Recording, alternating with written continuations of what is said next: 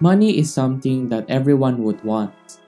You mostly cannot get everything for free, but rather with the use and power of money.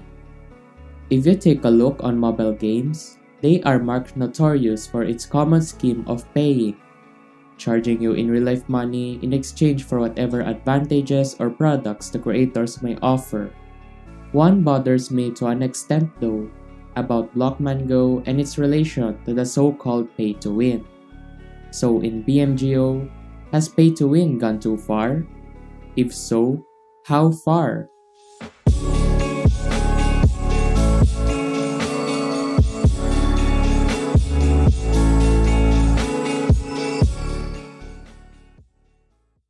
Before we proceed, let us define for everyone what is exactly considered as pay to win.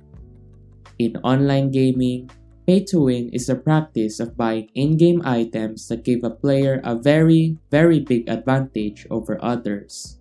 This includes most premium in-game currencies but not all, as it depends on how the corresponding game developers implement them.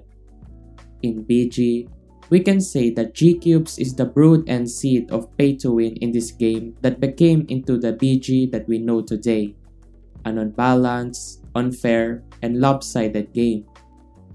Let's observe on how many ways we can actually use G-Cubes in the game.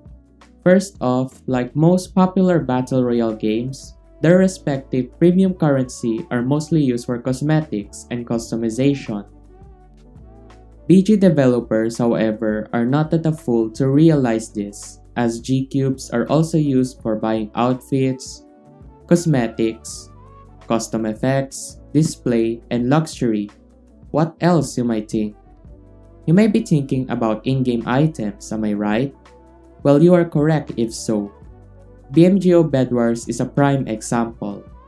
You can buy anything with G-Cubes in this specific shop anywhere, anytime, as long as you possess the said currency, namely G-Cubes. The thing about this shop is that it ravaged the game in a way that skill was replaced with currency, buying, and spending. Players would often complain about others who use, or as they say, abuse their G-cubes for their own advantage, likewise making the game unfair. Not only Bed Wars, even games like Skyblock, Egg Wars, Sky Royale, Build and Shoot, you name it. Every single one of these games follow a same old scheme. Players get interested in the game, making them progress and play more and then poke their interest with an advantage that they could only obtain from paying G-Cubes. However, why even? Why did the developers just decided to do that? Well, like as the intro says it, money. Monetary gain is what rooted greed and hunger for not just BG developers but other devs of other games that can be pointed out to have the same issue. You can indeed argue that they need money to keep the game running and pay their developers, but that is not and never the case.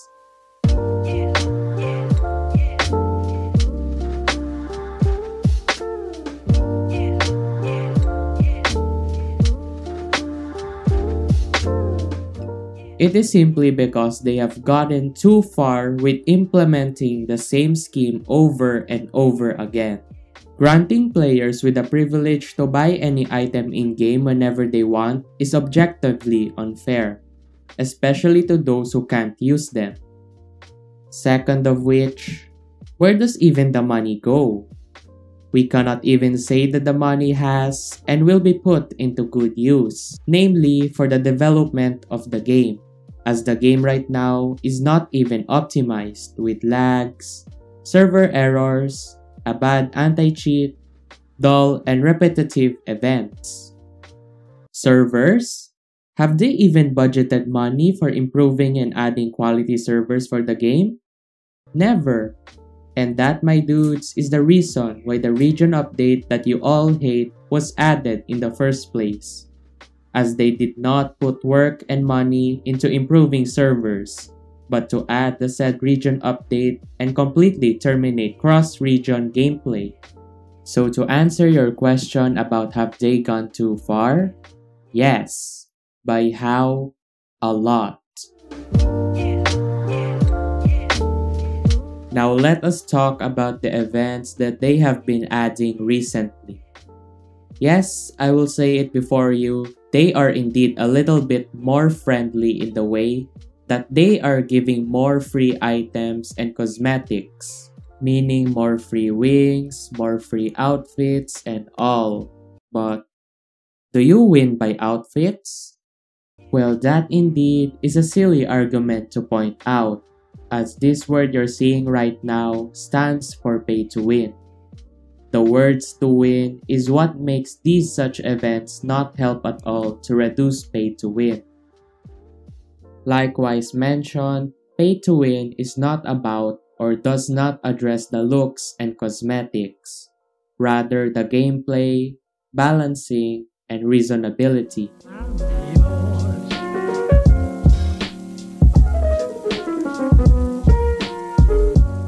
So what can be done to reduce pay to win in the game? Mind you, we cannot do anything about it as players directly. But what we can do, and what we have already done, is to raise awareness to the developers to at least balance and fix the game. These days, everything is in the hands of the developers on how will they keep their game alive. Efforts of raising awareness can also be observed, such as YouTubers making videos about it, and the most recently and unique way to say the least is by Zeph and the hacking situation. They are trying their best to get the attention of the developers on how bad the game has become by adding pay to win in an already stolen game.